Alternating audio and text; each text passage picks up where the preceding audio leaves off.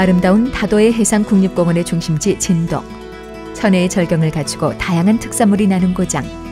국가 지정 문화재와 전라남도 지정 문화재가 살아 숨쉬는 역사의 고장 진도.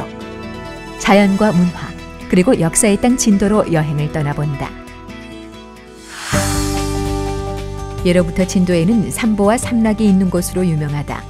진돗개와 구기자, 돌미역으로 지칭되는 삼보가 자연이 진도해 준 보물이라면 삼락의 서화, 미녀, 홍주는 진도의 사람들이 만든 삶의 기쁨이다.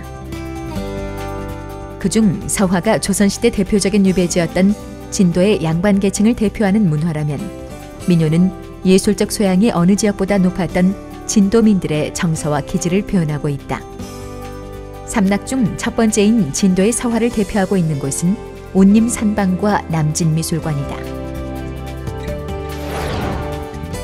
온림산방은 조선말 남종화의 대가였던 소치 허유가 말년을 보내던 곳으로 현재 삼방 내 건립된 소치 기념관을 통해 소치와 함께 남종화의 대가로 불리우는 미산 허형, 남농 허건 등 3대의 작품 세계를 잘 볼 수 있는 곳이다.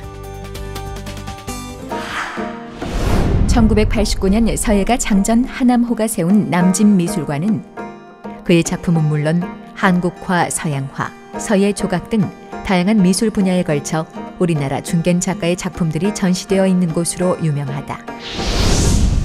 반면 민요는 진도민들의 높은 예술적 수준을 보여주는 장르로 진도에는 많은 민요와 표현 형식들이 원형 그대로 잘 보존 전승되고 있다. 진도 아리랑, 강강술래, 진도 북놀이, 진도 들노래, 진도 씻김굿 등은 진도는 물론 이제는 우리나라를 대표하는 최고의 민속으로 인정받고 있는 것들이다. 국가지정 무형문화재 제8호인 강강술래는 명량 대첩 시 사용된 호국 충절의 정신이 깃들어 있는 놀이로 오늘날은 풍요와 감사의 의미로 많이 시연되고 있다.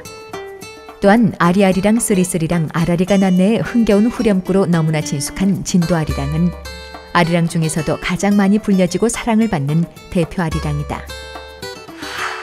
1987년 전라남도 무형문화재 제18호로 지정된 진도 북놀이는 유난히 북놀이가 발달한 남도 지역 북놀이 중에서도 독특하게 양손에 북채를 들고 북을 장구로 치듯 두드리는 양북치기가 유일하게 전승되고 있다.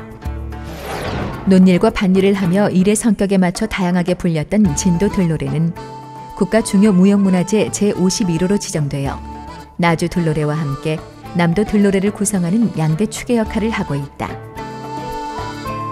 그 외에 진도에는 씻김굿, 만가, 다시레기와 같이 진도만이 가지고 있는 독특한 문화유산이 잘 보존되어 있으며 진도군에서는 진도 향토 문화회관에서 매주 토요일마다 상설 공연을 통해 진도의 자랑인 문화예술의 보존과 대중과의 적극적인 만남을 시도하고 있다. 민족의 오랜 역사 속에서 풍전등어와 같은 국난의 시기에 진도는 역사의 중심지로 민족의 마지막 희망을 밝혀주었던 역사의 땅이기도 하다. 고려시대 대몽항쟁의 마지막 불꽃이었던 삼별초의 혼이 살아 숨쉬는 용장산성과 남도석성에는 당시 세계 최고의 군대를 맞아 끝까지 굴하지 않고 항전한 민족혼의 숨결이 곳곳에 서려 있다. 조선시대 임진왜란이란 최고의 국난에서 나라를 구한 충무공의 흔적도 진도 여러 곳에서 찾아볼 수 있다.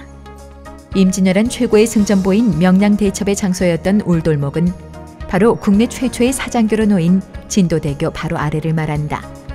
또한 강강술래가 시작된 망금산, 남해의 파수꾼 녹진 전망대, 수영이 위치했던 벽파항. 특히 이곳은 충무공이 명량 대첩전에 16일간 머물면서 숙고했던 곳으로 보물 제503호인 이 충무공 전첩비가 세워져 있는 곳이기도 하다. 또한 진도는 자연이 준 명소로 많은 관광 자원을 가지고 있는 곳이다.